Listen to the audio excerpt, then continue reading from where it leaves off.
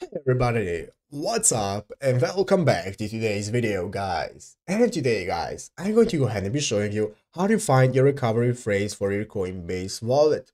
This is a very simple thing to do guys, so make sure to watch this quick and easy video till the very end and follow my steps correctly so you can make sure this works the same for you and you can do this yourself. But yeah guys, let's get straight into it.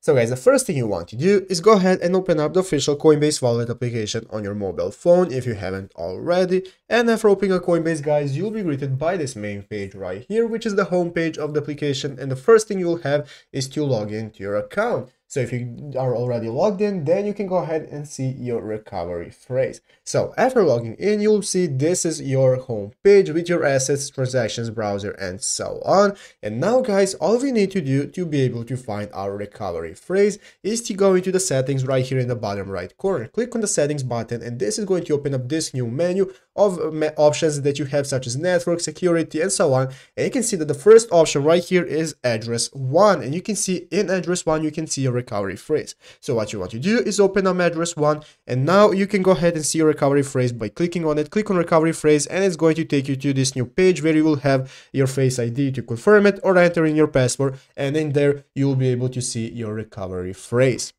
But yeah guys, basically that is it how to do it. So I hope this video was helpful. If it was, make sure to leave a like, subscribe to the channel. So yeah guys, thank you for watching, take care and bye.